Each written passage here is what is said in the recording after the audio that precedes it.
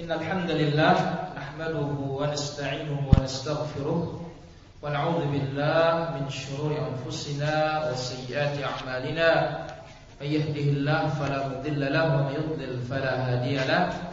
أشهد أن لا إله إلا الله وحده لا شريك له وأشهد أن محمدا عبده ورسوله صلى الله عليه وعلى آله وصحبه وسلم تسليما كثيرا. أما بعد فإن أحسن الكلام كلام الله وخير الهدى هدى محمد صلى الله عليه وسلم وشر الأمور محدثاتها وكل محدثة بدعة وكل بدعة ضلالة وكل ضلالة في النار kaum muslimin dan muslimat rahimani wa rahimakumullah.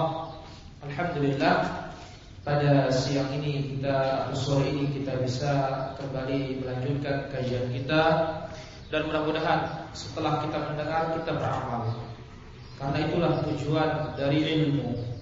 Oleh karena itu Al-Imam Ibnu Qayyim rahimahullah menjelaskan makna hadis yang diriwayatkan oleh Imam Al-Bukhari dan Imam Muslim dari sahabat Muawiyah radhiyallahu anhu, "May yuridillahu bihi khairan yufaqihuhu fid din." Barang siapa yang dikehendaki baik oleh Allah Allah akan berikan dia pemahaman tentang agama. Imam Ibnu Qayyim mengatakan, "Hadza in urida bihil ilm al-amal." Ilmu yang demikian itu adalah apabila dia belajar, dia ingin mengamalkan.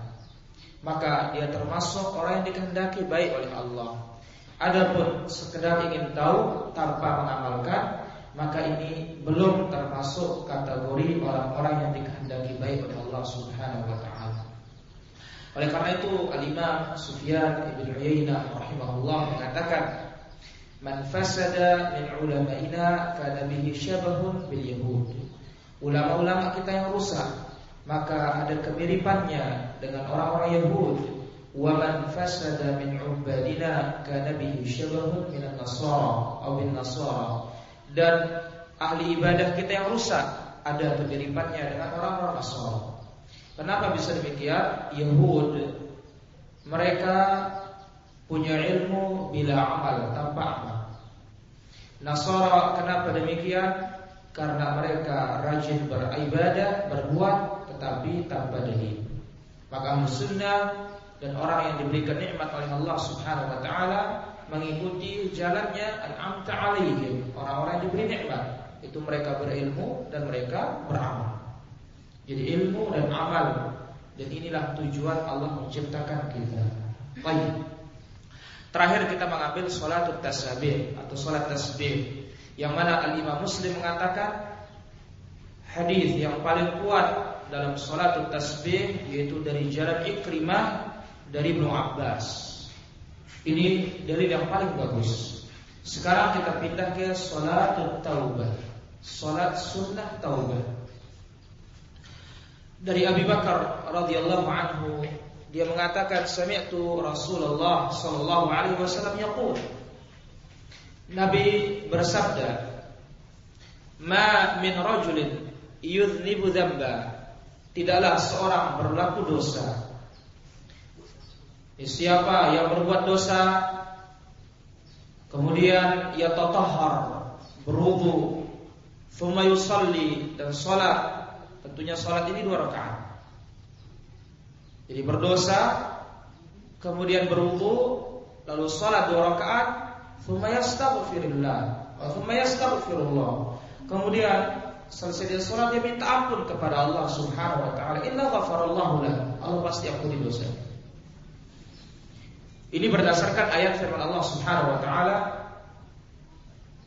Allah berfirman, والذين إذا فعلوا فاحشة أو ظلموا أنفسهم ذكروا الله فاستغفروا لذنوبهم dan orang-orang yang apabila mereka berbuat dosa fahisyah baik itu omongan baik itu perbuatan awalamu anfusahum atau telah menzalimi dirinya bagaimana menzalimi diri berbuat dosa itu namanya menzalimi diri zakarullah mereka ingat kepada Allah yaitu salat karena sholat itu disebutkan oleh Allah Aqimis sholata lidzikri Dirikanlah sholat untuk mengingatku Fastaghfaru lidzunubihim Begitu Begitu selesai mereka sholat, mereka minta ampun kepada Allah atas dosa-dosa mereka. Dijelaskan dalam hadis ini berdo, berbuat dosa, kemudian berwudu, lalu sholat. Maka inilah dikatakan ya sholat sunnatut taubah. Itu sholat yang dilakukan apabila selesai melakukan dosa. Dalam hadis yang lain, Nabi alaihi wasallam bersabda, "Man tawaddaa fa ahsana wudu Siapa yang berwudu dan memperbagus wudunya, tentu yang paling bagus wudunya Rasul sallallahu alaihi wasallam. Bahkan orang yang tidak berwudu dengan cara wudu Nabi tidak diterima salatnya. Sebagaimana dari Humran Maula Uthman setelah mempraktekkan wudu Nabi Uthman mengatakan hadzal wudu. Aman tawaddaa nahwa wudu'i hadza? Barang siapa yang berwudu seperti wuduku ini. Lalu dia sholat dua rakaat. Dia tidak membisikkan sesuatu apa pun, sesuatu apa pun dalam hatinya Melainkan Allah ampuni dosa-dosa yang telah Di wudu yang baik Wudunya Rasulullah SAW Bahkan dalam sebuah riwayat Inilah wuduku Siapa yang tidak berwudu dengannya Maka Allah tidak terima ibadah-ibadahnya ini. Kemudian setelah berwudu yang baik, salat dua rakaat. Au arba'ah atau empat rakaat. Yuhsinu fihi wal khusyu'. Bagus bacaan-bacaannya di dalam salat. Kemudian khusyuk dalam salat. Artinya khusyuk hudurul qalb. Dia tahu apa yang dibaca. Pikirannya tidak melamun pikirannya tidak ke mana-mana mengikuti bacaannya. Kemudian dia minta ampun kepada Allah, Allah akan mengampuni. Nah, ini semuanya tentu berdasarkan juga hadis yang lain. Selesai berbuat maksiat, salat sunnah, salat taubah. Karena Nabi juga alaihi salatu wasallam mengatakan, "Wa atbi'is sayyi'atal hasanata tamhuha. Ikutilah perbuatan buruk dengan perbuatan baik. Niscaya perbuatan baik itu akan menghapus dosa-dosa keburukan. Dan juga Nabi mengatakan as-salatu khairu mawdu. Salat itu sebaik-baik amal. Nah inilah dia dasar-dasar disyariatkan salat sunnatul taubah. Jadi kapan disyariatkan? Tatkala seorang muslim telah berlaku dosa lalu dia sholat dua rakaat maka Allah akan mengampuni dosa-dosanya. Inilah dia Salafuddin rahimahullah salah satu dari sholat-sholat Rasulullah Sallallahu Alaihi Wasallam yang kaitannya dengan sholat sunnah. Dan tentu kita dalam kehidupan sehari-hari tidak ada kita yang luput dari perbuatan dosa. Dan dosa ini banyak yang mengampuninya yaitu dosa-dosa kecil. Salat, sedekah, amar ma'ruf, nahi mungkar, mengampuni semua. Namun secara khusus Nabi diperintahkan oleh Allah disyariatkan selesai berbuat dosa salat dua. Dan inilah dia tuntunan-tuntunan Rasulullah Shallallahu Alaihi Wasallam. Kemudian sholat sunnah yang berikutnya. Jadi cukup dua rakaat atau empat rakaat sudah selesai. Yaitu tidak ada ketentuannya apakah malam ataukah siang, yang penting kapan berbuat dosa. Lalu ingat kepada Allah Subhanahu wa taala segera tutupi dengan sholat. Dan tentunya kita cabut diri dari dosa tersebut. Ya, cabut diri dan menyesal, menyesal dan jangan mengulangi kembali. Oleh karena itu Nabi disebutkan oleh para sahabat Nabi Shallallahu Alaihi Wasallam yang mana ibnu Abba ibnu Mas'ud radhiyallahu anhu mengatakan, "Kafa bil mar'i ilman an yakhsha Allah azza wa jalla." Cukuplah seseorang dikatakan berilmu apabila dia takut kepada Allah wa kafa bil mar'i jahlan an yaqula astaghfirullah thumma ya'ud. Dan cukuplah seorang itu dikatakan bodoh dia mengatakan selesai berbuat dosa astaghfirullah namun kembali lagi. Ini jahil. Dia dikatakan berilmu takut kepada Allah Subhanahu wa taala. Dia dikatakan jahil sudah berdosa istighfar. Setelah istighfar lagi mengulanginya. Bukan berarti perbuatan tersebut apa namanya setiap berdosa terus bertobat itu tercela tidak itu sangat baik. Namun dicela orang tersebut sekarang tobat lagi mengulangi sekarang tobat lagi mengulangi yang mana tidak putus-putusnya. Padahal hakikatnya kita terus dituntut untuk tobatan nasuh itu tobat dengan sebenar-benarnya. Namun ingat selama matahari belum terbit dari barat dan selama nyawa masih sebelum sampai di tenggorokan, tobat itu harus. Dan tobat ini merupakan kewajiban seumur seumur hidup. Ini dia masalah tobat. Taib. Kemudian salatul kusur, salat gerhana. Kusur asal katanya atau asal bahasanya artinya dari putih berubah menjadi hitam. Yang mana matahari itu terang tatkala dia putih. Yang mana bulan itu terang tatkala dia putih. Namun begitu dia menghitam otomatis dia itu dia gelap. Inilah dikatakan dia itu kusuf. Baik untuk gerhana matahari juga dikatakan kusuf ataupun gerhana bulan. Kalau dipisahkan kusuf itu berarti matahari pakai kha. Khusuf baru itu gerhana bulan. Namun kalau disebut kusuf bisa berarti gerhana matahari, bisa juga berarti gerhana bulan. Ikhtalaf ulama berselisih para ulama ahli sunnah wal jamaah dan ulama fikih tentang hukum salat kusuf. Jumhur ulama, kebanyakan para ulama mengatakan sunnah muakkadah. Abu Awanah dalam Sahih mengatakan wajib. Sebagaimana dari Abu Hanifah dan sebagian ulama-ulama Hanafiyah juga mengatakan dia wajib. Dan sebagian para ulama juga menguatkan itulah yang paling kuat, wajib. Karena berdasarkan perbuatan-perbuatan Rasulullah sallallahu alaihi wasallam. Nabi terjadi gerhana bulan. Nabi lari sallallahu alaihi wasallam sampai selendangnya ditarik-tarik Nah, tanpa kita melihat dia itu perselisihan para ulama kata dia wajib atau sunnah muakkadah, sekarang itu merupakan tuntunan Rasul sallallahu alaihi wasallam. Nabi tidak pernah sama sekali melupakan yang namanya sholat gerhana kalau memang ada sebab. Ya, kalau memang ada sebabnya, Nabi segera sholat. Nah, tatkala terjadi gerhana ini, tentu tukang azan memanggil tetapi bukan dengan panggilan azan.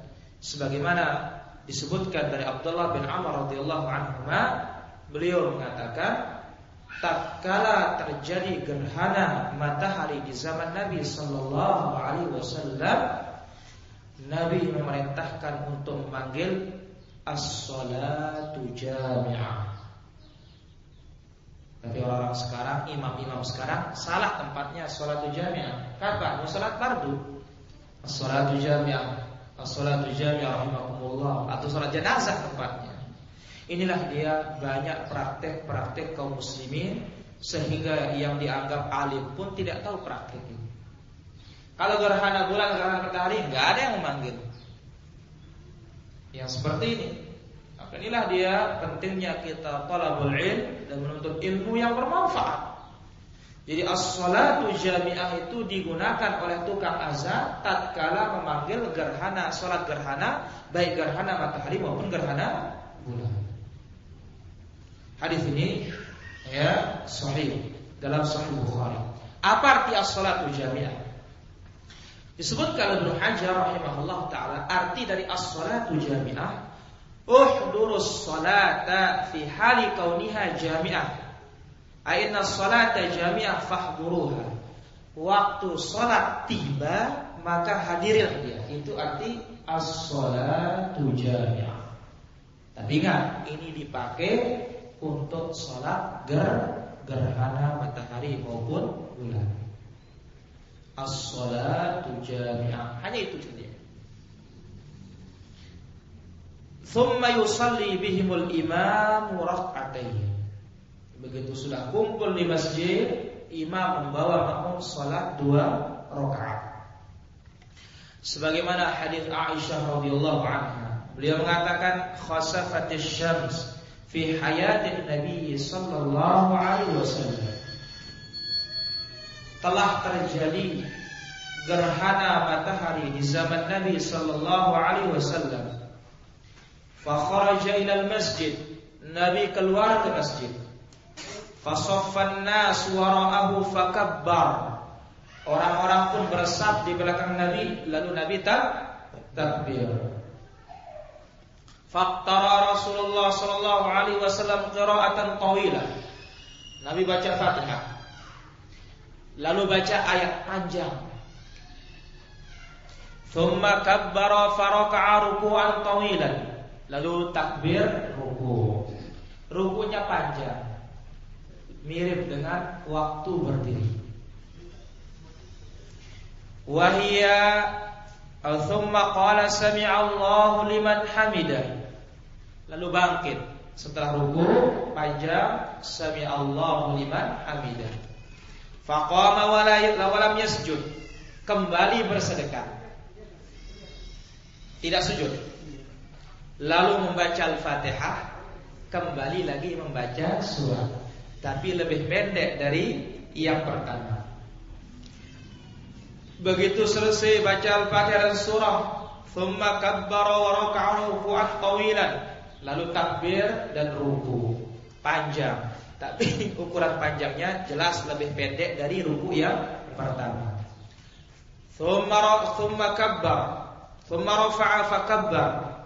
Kemudian dia bangkit dan takbir mengatakan Sami Allahu liman hamidah Rabbana walakal hamdu. Lalu sujud. Kemudian dulu antara dua sujud Kemudian sujud kembali Kemudian bangkit ke rakaat kedua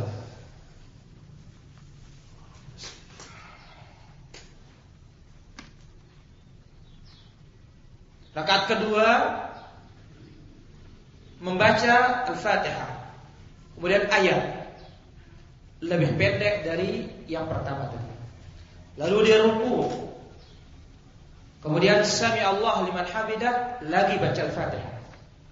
Baca surat lebih pendek dari yang pertama. Kemudian dia ruku. Kemudian sami Allah liman hamidah Rabbana lakal hamdu sampai akhir lalu dia sujud. Kemudian duduk antara dua sujud, kemudian lagi kembali sujud, kemudian dia tasyahud dan salam. Inilah kaifiat salat gerhana matahari maupun bulan. Jadi ya dua kali empat kali ruku dalam dua rakaat dan empat kali membaca. Adapun sujud sudah biasa tetap empat. Rakaat pertama dua, rakaat kedua pun dua. Inilah dia kaifiat salatul khusyuk maupun salatul khusyuk. Wanjalat syamsu qabla an yansarif. Maka matahari terang. Berhenti gerhana sebelum Nabi selesai sholat. Thumma qama fathna 'ala Allah bima huwa ahluhu. Kemudian selesai sholat, salam, Nabi berdiri khutbah dan memuji Allah. Lalu dalam khutbahnya Nabi mengatakan, "Huma ayatan min ayatillah." Matahari dan bulan ini dua di antara tanda-tanda kebesaran Allah layak sifani, dia tidak gerhana, dia tidak menghitam karena kematian seseorang maupun karena kehidupan seseorang. Fa idza ra'aitumuha, maka siapa yang melihatnya gerhana itu, fabza'u ila shalah. Segeralah lari menuju masjid untuk sholat. Nah, sebab Nabi berkhutbah menjelaskan gerhana matahari bukan karena kematian dan kehidupan, putra Nabi Sallallahu Alaihi Wasallam itu Al-Qasim Al-Qasim bin Muhammad setelah berumur 16 bulan wafat ya yang datang dari Maria. Begitu dia wafat, Abdullah ya. Ya, begitu dia wafat, maka langsung orang-orang mengatakan bahwa ini gerhana ini gara-gara wafatnya Nabi Sallallahu Alaihi Wasallam. Gara-gara wafatnya Rasul Sallallahu Alaihi Wasallam, maka Nabi langsung membatalkan akidah tersebut. Jadi matahari ini gerhana atau bulan gerhana bukan karena kematian ataupun karena kehidupan. Namun dalam sebuah riwayat itu merupakan tanda kebesaran Allah yang Allah gunakan untuk menakut-nakuti hambanya. Menandakan kiamat dekat. Karena dalam sebuah riwayat Nabi Shallallahu Alaihi Wasallam bersabda, La taqumus sa'ah tidak akan terjadi gerhana matahari hatta takunu khasfun bil masyriq. Gerhana di bagian timur merata. Wa khasfun bil maghrib, gerhana di bagian barat merata. Wa khasfun fi jaziratul gerhana di negeri Arab. Maka Nabi Shallallahu Alaihi Wasallam khawatir sekali terjadi gerhana. Beliau mengira kiamat sudah tiba. Karena itu merupakan tanda kiamat datang. Itu termasuk tanda besar di antara tanda-tanda kiamat. Terjadinya gerhana total. Inilah dia hadis ini sahih diriwayatkan oleh Bukhari dan Muslim. Jadi itu kaifiat bagaimana cara sholat khusyuk. Wa yakunu dzalika jahran. Tentu imam itu membaca ayatnya dengan suara nyaring. Baik dia siang gerhana matahari maupun malam gerhana bulan. Al-Imam Al-Albani mengatakan dalam Tamamul Minnah anna salat al-kusufi innama sallaha Rasulullah sallallahu alaihi wasallam maratan wahidah. Dari penelitian penelitian hadis, Nabi salat gerhana hanya sekali.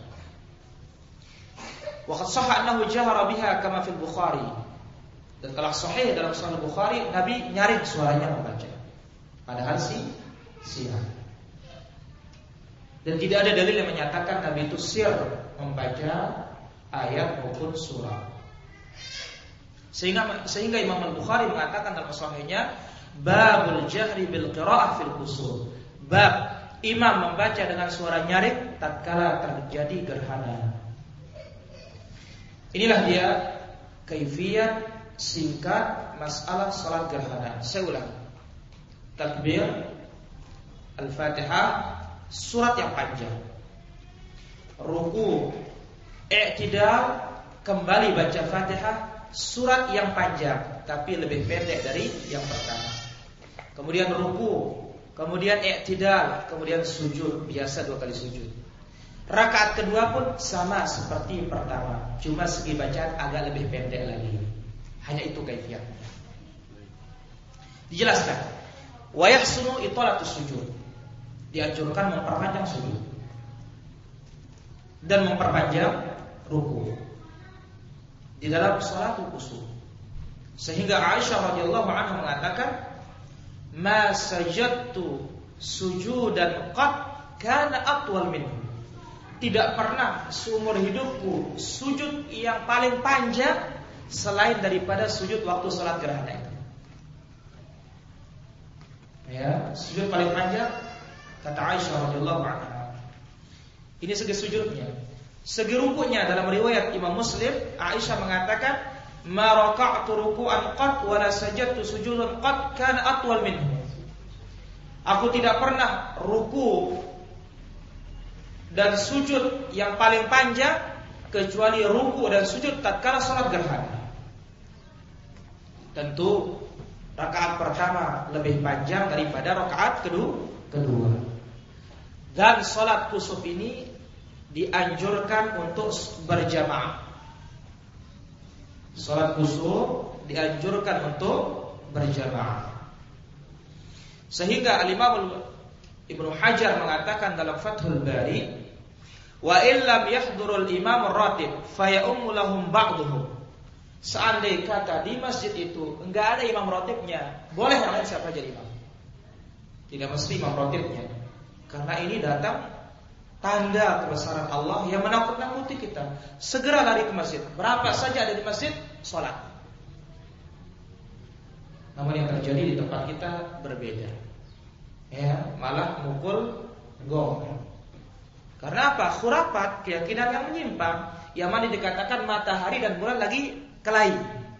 Maka dengan kita mukul gong itu, gamelan itu kita bantu dia kelahi katanya. Ini khurafatnya kita oleh Allah. Justru harusnya takut kepada Allah Subhanahu wa taala dengan melakukan salat. Nah inilah dia ya disebutkan oleh Imam Ibnu Hajar. Penjelasan lanjut lagi. Jadi kalau sudah kumpul di masjid, kalau nggak ada imam tetap, siapa saja jadi imam. Kemudian wa anis dan Imam Tsauri mengatakan illam yahdurul imam sallu furada. Jikalau tidak ada imam ya, maka salat sendiri-sendiri. Tetapi yang lebih rajib adalah yaitu berjamaah tetap meskipun tidak ada imam rotib siapa saja jadi imam boleh.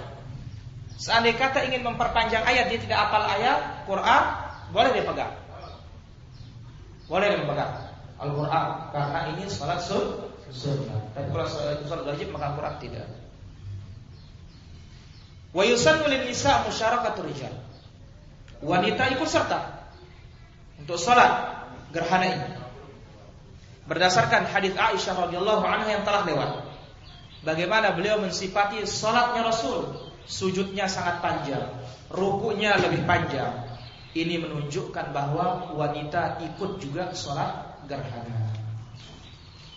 Baik.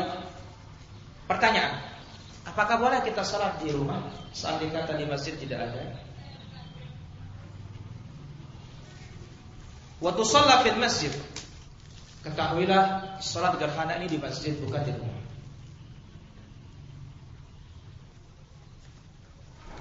Jadi sholat gerhana tempatnya di masjid.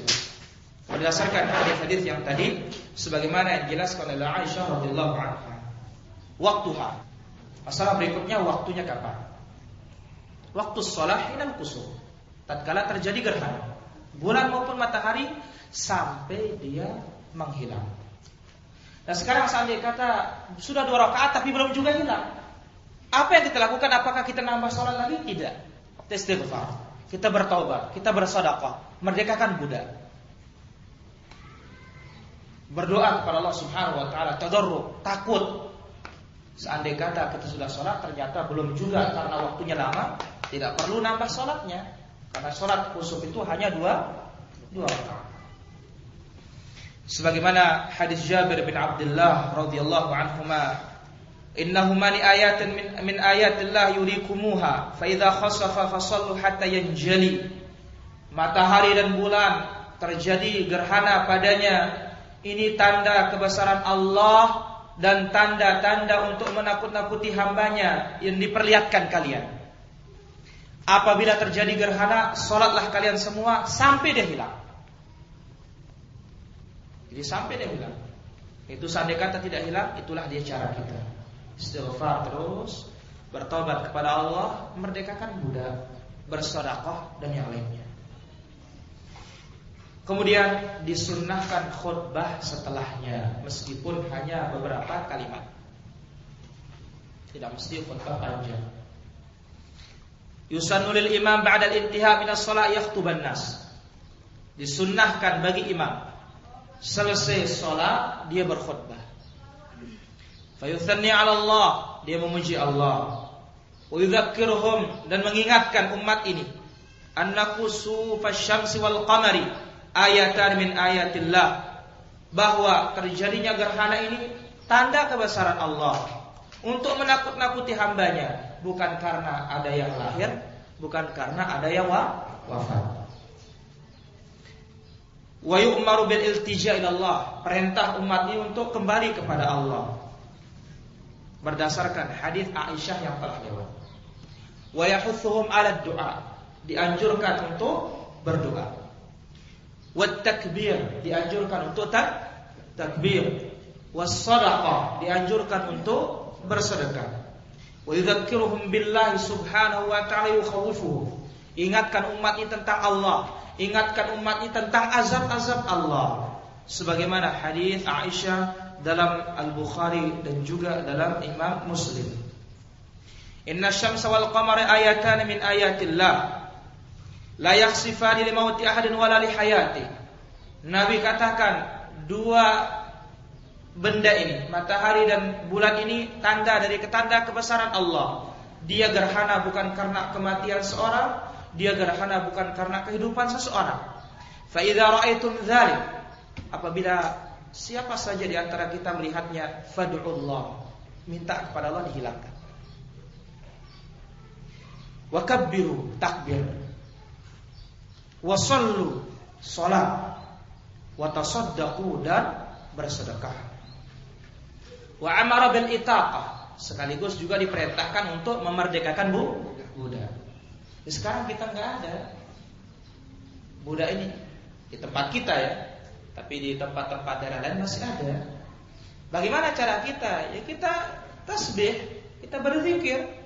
Ya, la ilaha illallah wa la syarika Karena di antara zikir-zikir yang mana sederajat dengan memerdekakan budak. La ilaha illallah wa la syarika lahul mulku wa lahul hamdu yuhyi wa huwa ala kulli syai'in qadir. Itu di antaranya. Kama fi hadis Asma radhiyallahu anha berdasarkan hadis Asma laqad amara an-nabiy sallallahu alaihi wasallam bil itaqah fi khusufis syams Nabi telah memerintahkan memerdekakan budak tatkala terjadi gerhana matahari. Hadis ini sahih diriwayatkan oleh Al-Imam Al-Bukhari. Inilah dia.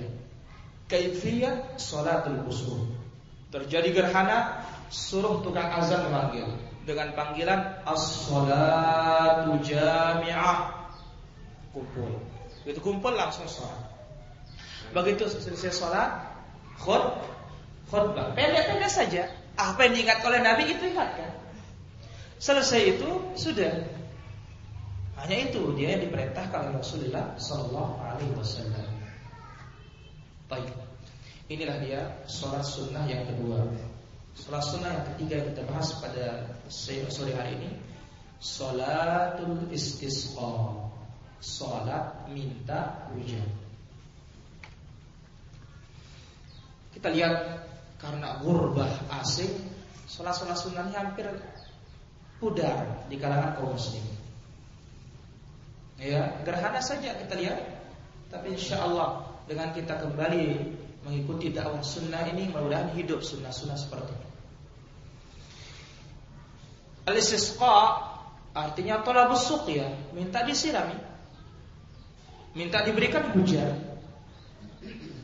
dan sholatnya kapan saja.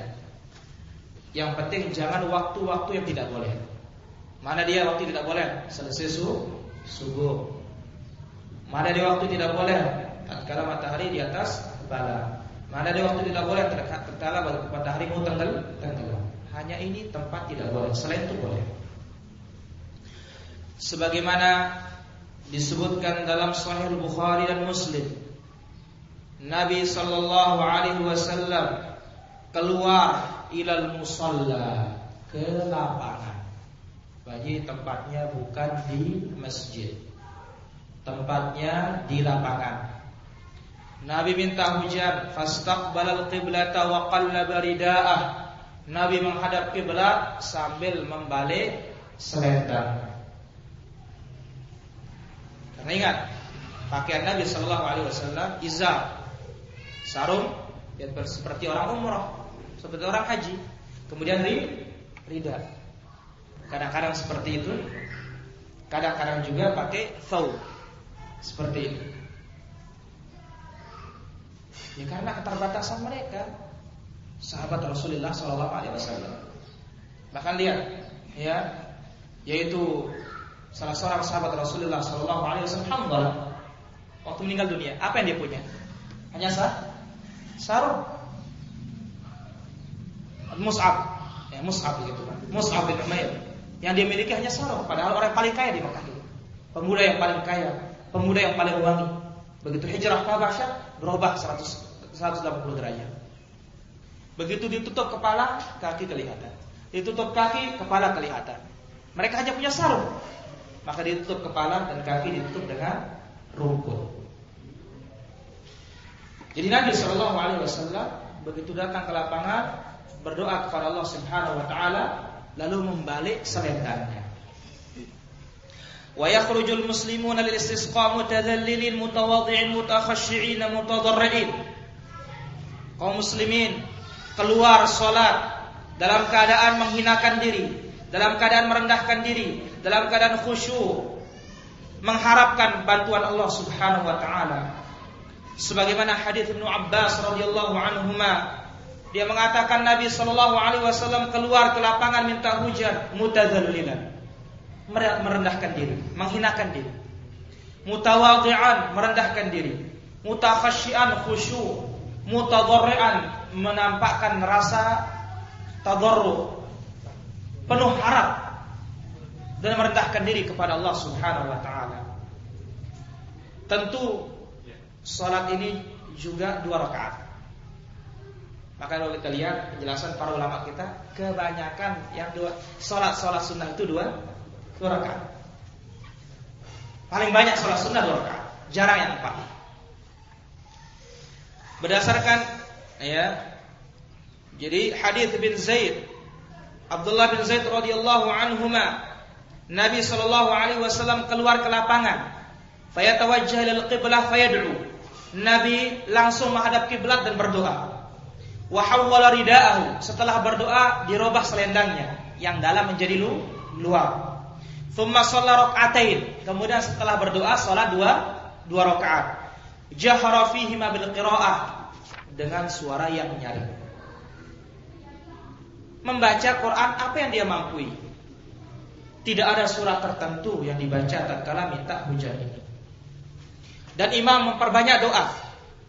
Berdasarkan hadis Aisyah radhiyallahu anha, orang-orang mengadu di zaman Nabi sallallahu alaihi wasallam kekurangan hujan. Maka Nabi memerintahkan keluarkan mimbar ke lapangan. Bawa mimbar ke lapangan. Yang mana ya kalau id dan semisalnya tidak disuruh mengeluarkan mimbar. Tapi kala istisqa diperintahkan keluarkan mimbar. Lalu setelah diletakkan mimbar di lapangan, Nabi menjanjikan hari ini kita akan sholat. Maka Nabi keluar sholat.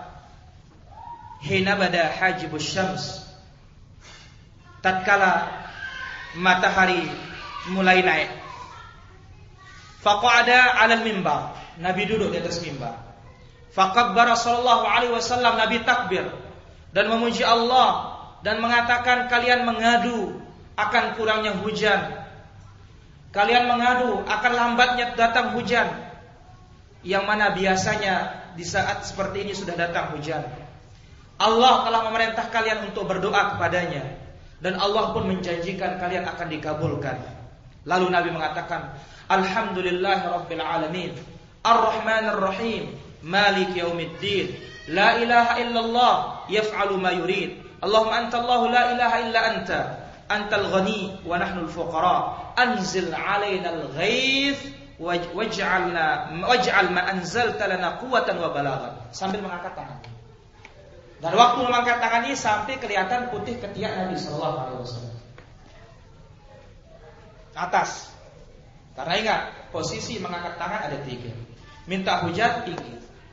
Doa biasa sejajar dengan pundak Khatib pada hari Jumat cukup isya isya. Baik. Waj'al ma anzaltana quwwatan wa balaghan ila hin, thumma. Kemudian Nabi mengangkat kedua tangannya. Dari Anas bin Malik dijelaskan, Nabi apabila minta hujan ja'ala dhahra kaffaihi mimma yali wajhihi. Akhrajahu Ya'la fi. Nabi sallallahu alaihi wasallam apabila meminta hujan ja'ala zahiru kaffai punggungnya mimma yali wajhihi yaitu di depan wajahnya. Jadi ya seperti inilah. Jadi agak diangkat. Falam yazal fi raf'i hatta bada bayad ibtayhi. Terus Nabi mengangkat sampai kelihatan putih ketiaknya. Ini menunjukkan tidak pakai baju. Hanya pakai selendang. Seandainya kata pakai baju ya tidak kelihatan putih ketiaknya. Jadi Nabi pakai sarung seperti umurah itu sudah. Orang pakai ihram itu sudah. Ya, sehingga diperselisihkan oleh para ulama bagaimana hukumnya sholat pakai satu pakaian. Artinya hanya pakai sarung saja. Karena nggak ada mereka. Ya, Kemudian, thumma hawwala ila nasi dhahrahu. Jadi Nabi berdoa sendiri menghadap ke kiblat lalu berbalik menghadap jamaahnya. Wa qallaba aw hawwala ridaahu dan membalik selendangnya. Wa huwa rafi'un yadayhi sambil mengangkat tangannya. Thumma aqbala 'ala nas lalu menghadap ke orang-orang wa nazal dan turun dari mimbar fa rak'atain lalu salat dua rakaat.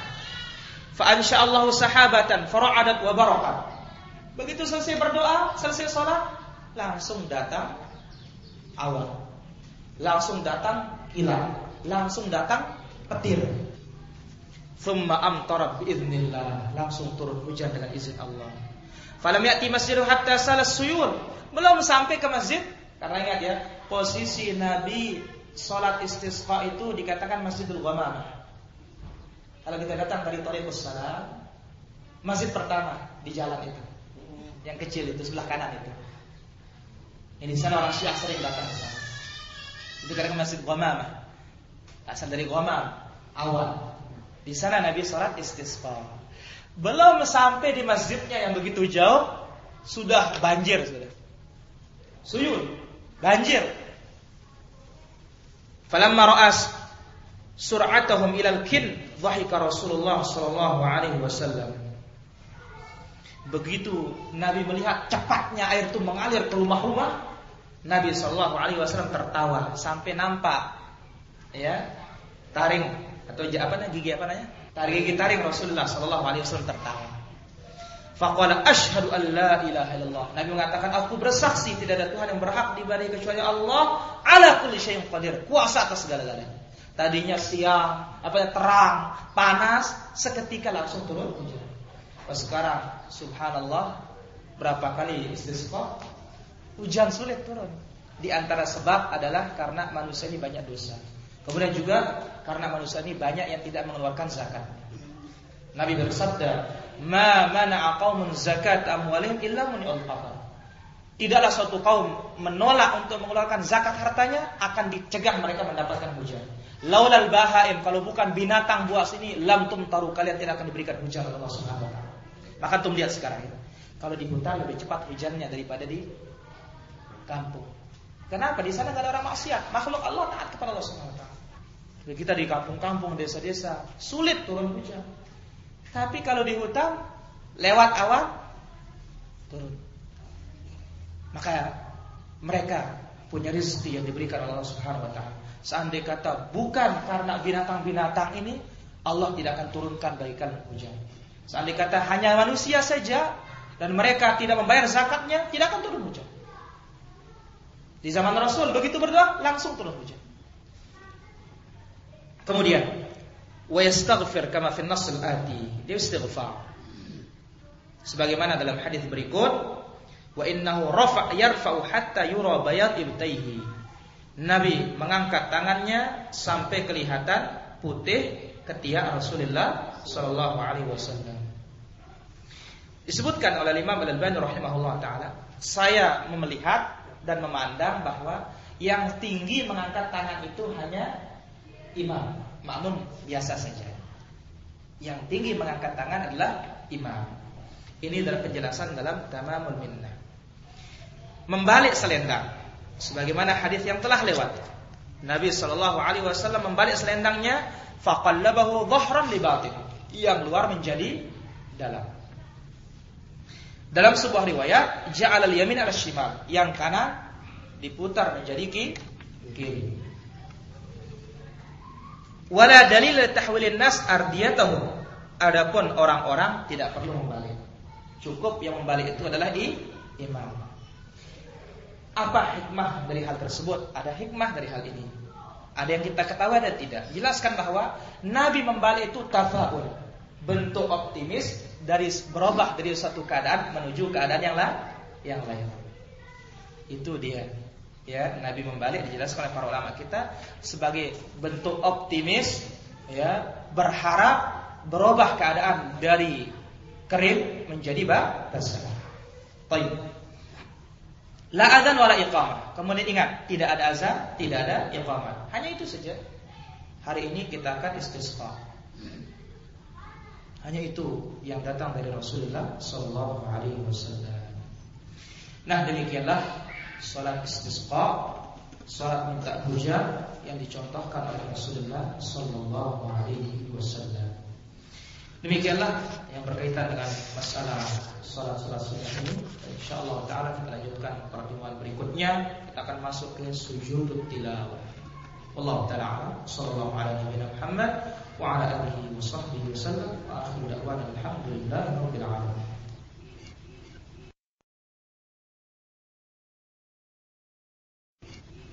Waktu sujud salat gerhana dan salat yang lainnya tidak ada bacaan khusus. Ingat, satu sujud satu sudah jenisnya meskipun berkali-kali. Seandainya kata pakai permintaan berarti pakai zikir yang lain. Subhanallah. Allah subhanallah wa bihamdika Allah maghfir, la maghfir. Hanya itu saja. Dan ingat, satu sujud satu bentuk zikir. Secara umum semua sujud sama bacaannya kecuali sujud tilawah nanti akan datang. Dan itu pun sujud tilawah tidak boleh menghususkan itu saja mesti juga baca eh, subhanallah atau subhan rabbiyal a'la. Wallahu taala. Apakah ada doa khusus yang kita baca ketika sholat sunnah taubah? Enggak ada. Pokoknya intinya minta ampun atas dosa yang kita lakukan. Hanya itu dia Allah taala. Apa yang kita baca saat ruku dan sujud pada sholat khusus? Sama seperti sholat biasa. Ruku subhanallahil azim atau subuh kudus rabbul malaikati waruh atau subhanallahumma wa bihamdika allahumma ighfirli atau allahumma laka raka'tu wa ya dan semisalnya kemudian bagaimana kalau kita tidak menemukan masjid yang melaksanakan sholat khusyuk ya kalau tidak ada ya kita istighfar ya kita taubat kepada Allah Subhanahu wa taala, kita bersedekah dan yang semisalnya. Nah, inilah dia pentingnya kita menyebarkan sunnah ini supaya orang tahu. Nah, orang tidak tidak melaksanakan karena tidak tahu. Ya, inilah pentingnya kita mengingatkan. Ya, Allah taala a'lam. Bolehkah kita berdoa dalam sholat mendoakan orang tua kita yang telah meninggal yang telah tiada sambil menangis? Apakah tidak membatalkan sholat kita? Tidak mengapa. Tapi tentu kita berdoa itu setelah habis zikir dari Nabi. Baru kita berdoa. Boleh. Meskipun menangis tidak mengapa.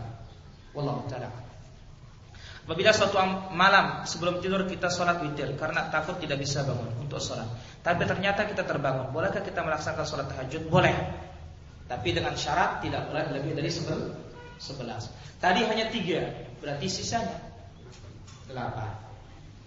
Hanya itu saja. Allah taala Karena Nabi bersabda, la witrani fi lailah. Tidak ada dua kali witir dalam satu malam.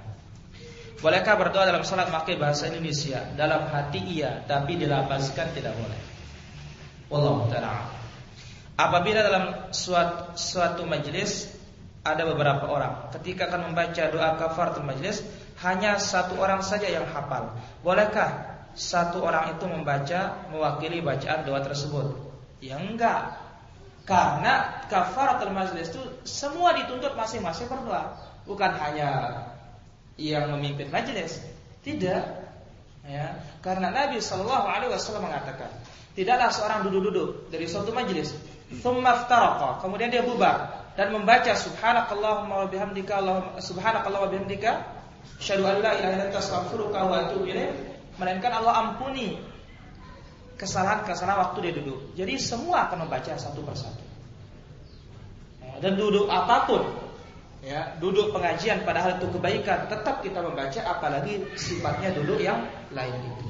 Wallahu taala Bagaimana kaifiat berdoa dengan mengangkat tangan? Apakah telapak tangan kanan dirapatkan dengan kiri? Iya, dirapatkan. Bukan renggang. Dirapatkan sebagaimana riwayat Imam Al-Auza'i dan sejajar dengan pundak atau sejajar dengan dada.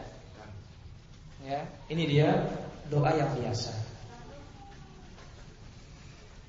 Manakah lebih afdal membaca doa untuk diri sendiri, keluarga dan orang tua pada saat sholat dilakukan pada sujud terakhir atau pada tasyahud akhir sebelum salat. Ingat, ya, kita membaca doa ini atau baca doa secara umum, Nabi katakan wa amma sujud fa'kthiru fi du'a. Tatkala sujud perbanyak doa. Kemudian juga waktu tasyahud terakhir juga banyak doa karena Nabi ditanya, "Ya Rasulullah, doa mana yang paling didengar oleh Allah?" Waktu sujud dan penghujung salat. Penghujung salat apa artinya? Apakah sebelum salat atau setelah salat? Khilaf para ulama.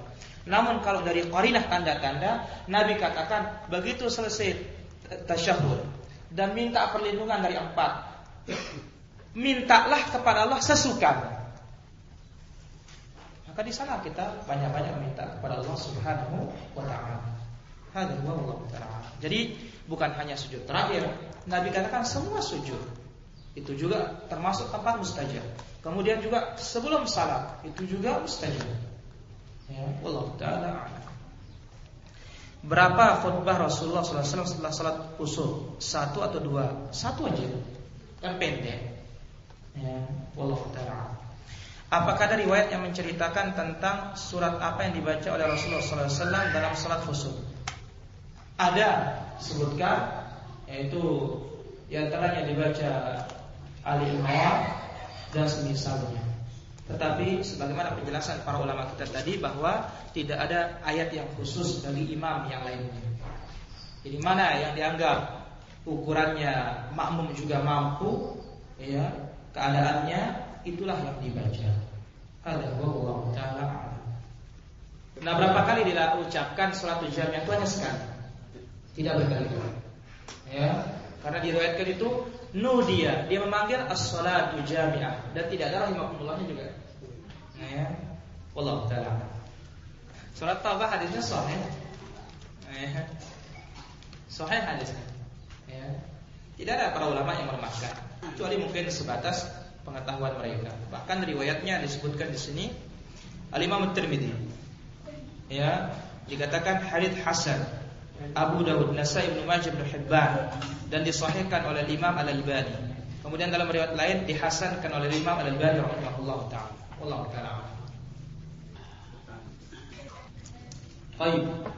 Bagaimana bersedekah karena sakit sehat? Apakah termasuk ikhlas? Kalau agama merintahkan insya Allah ikhlas.